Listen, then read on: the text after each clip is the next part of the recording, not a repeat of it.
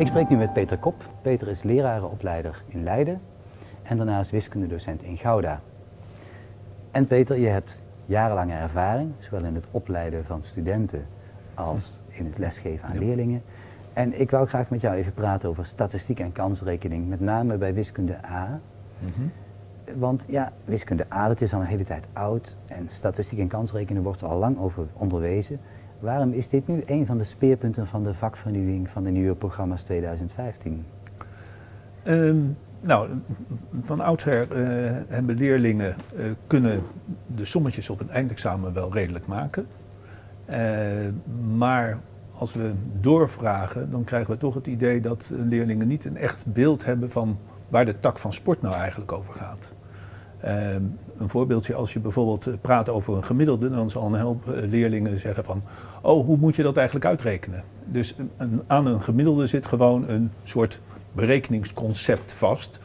Uh, terwijl wij eigenlijk vanuit de statistiek uh, willen dat dat gemiddelde eigenlijk gebruikt wordt om bijvoorbeeld een verdeling te kenschetsen. Als ik bijvoorbeeld in mijn klas vroeger vroeg van wat is een kansverdeling, uh, dan denk ik dat een hoop leerlingen van mij dachten van nou is zo'n uh, tabelletje waar boven de cijfertjes stonden en daaronder de kansen.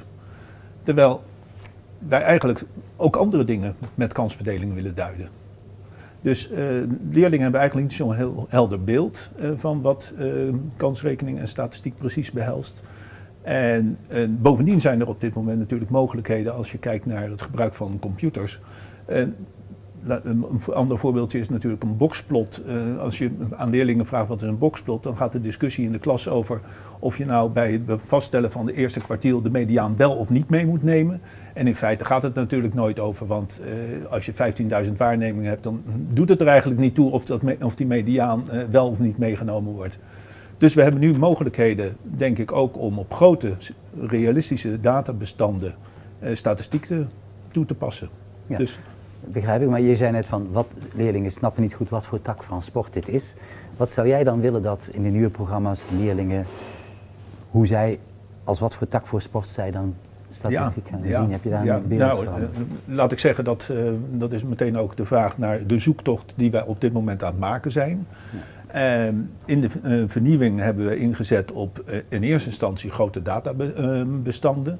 Dat bekt ook lekker. Uh, maar tegelijkertijd willen we ook wel een beetje onderzoeksmatig dat ze uh, aan het werk gaan. Dus we hebben omschreven de, de, statistische cyclus of de empirische cyclus, waarbij je eigenlijk probeert uh, bij een probleemsituatie een goede vraag te formuleren en op basis daarvan onderzoek, data te gaan verzamelen, data te analyseren en vervolgens conclusies te trekken. Dus wij zouden eigenlijk graag zien dat dit ongeveer de tak van sport was. En in de nascholing, uh, waar we net mee begonnen zijn. En, en, laat ik zeggen, het is gewoon een zoektocht. Hè? We, we hebben het nog niet gevonden. Uh, doen we de eerste bijeenkomst, uh, gaan we bezig over, nou stel eens een onderzoeksvraag. En hoe ziet die eruit? En de conclusie van een hoop docenten was van, goh, dat valt eigenlijk niet mee. Nou mhm. ja, dat is voorlopig de boodschap. Het valt niet mee om dat netjes te doen. En Vervolgens uh, laten we zien hoe je bijvoorbeeld bij uh, statistiek kunt inzetten bij simulaties om bepaalde begrippen duidelijk te maken. Ja. Maar als ik me nou voorstel, ik begrijp volgens mij jouw verhaal van de kern van de tak van sport is dat je met zeg maar big data en ICT, dat je die gebruikt om die empirische of statistische cyclus van probleemstelling, hypothese, statistische -hmm. data, onderzoek, dat je die ervaart. Hè?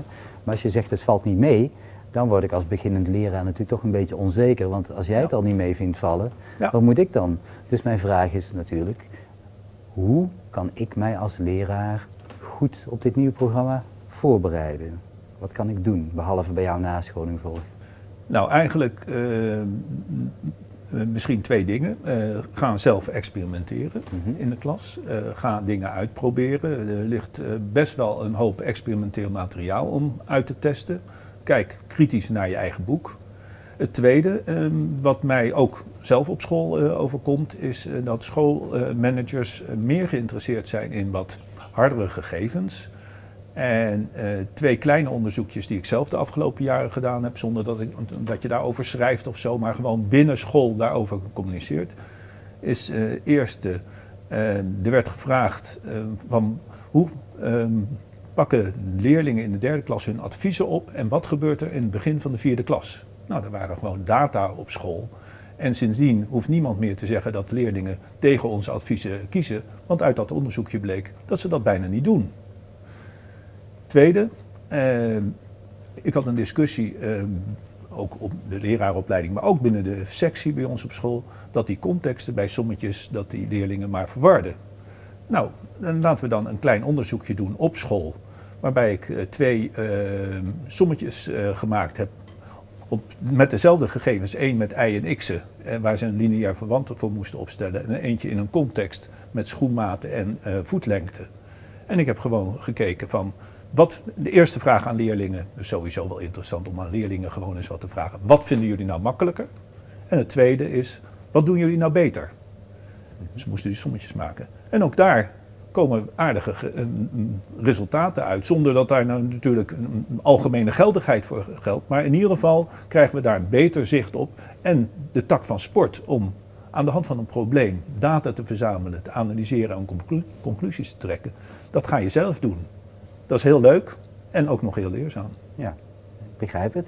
En stel nu, ik denk, dat ligt redelijk in het verlengde van waar we het over hebben.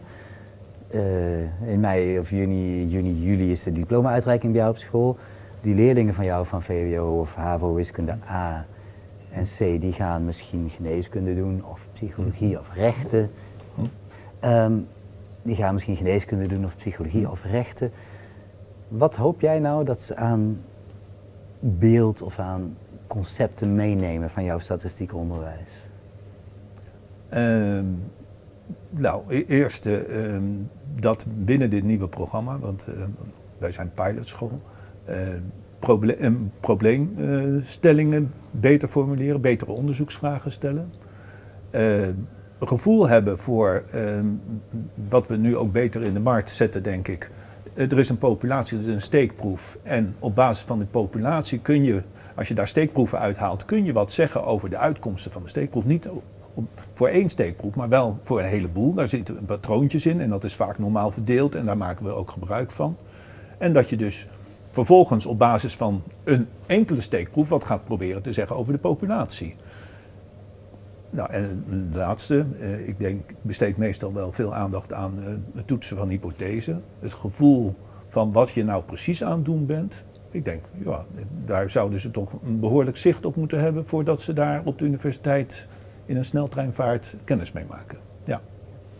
Dankjewel. Ik begrijp uh, de drijfveer en het lijkt me een heel mooi doel. En we zijn weliswaar zoekende, maar ik hoop wel dat we het snel met z'n allen vinden.